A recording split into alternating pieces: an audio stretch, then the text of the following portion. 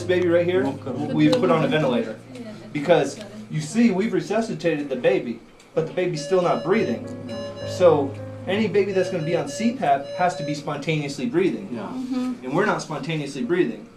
So basically, this baby's going to stay alive as long as we're bagging. Sure. If once we stop, game over. Mm-hmm.